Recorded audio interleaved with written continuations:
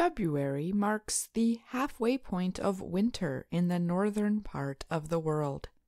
With spring arriving soon, many people are dreaming of working in their gardens on warm, sunny days. Some gardeners like to start the growing season early. They can do this by growing plants from seed inside their home. It is important to know when to start growing your seeds indoors.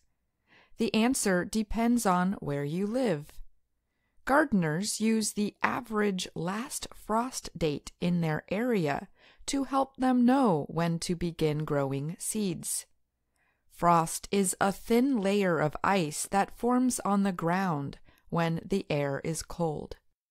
Some places have special groups that can provide such information, but there are also good online calculators that can tell you about frost dates too. The small packets that seeds come in usually advise you to start seeds a given number of weeks before the last frost. The recommendation will differ depending on the seed type. After finding your start date, it is important to respect it. If you start too soon, plants likely will grow weak and struggle to do well. If you start too late, your harvest will be delayed.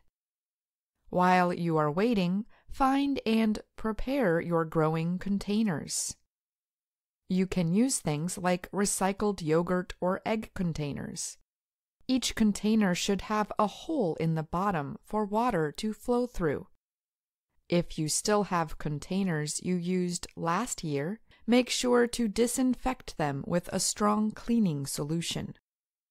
Fill each container with a clean, moist, soilless seed starting mix. Place 1 to 4 seeds in each cell, depending on the seed kind and size. Water the seeds as needed to keep the mix from drying out. Cover the seed containers tightly. Put them in a warm place out of direct sunlight.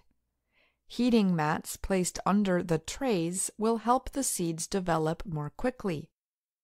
Be on the lookout for damping off, a fungal disease that happens in cool, wet, dark areas. If you see a white layer on the soil's surface, remove it carefully and let the soil dry completely before watering again.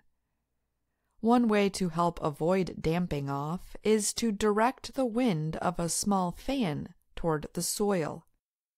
The wind from the fan can help train young seedlings to withstand wind outside.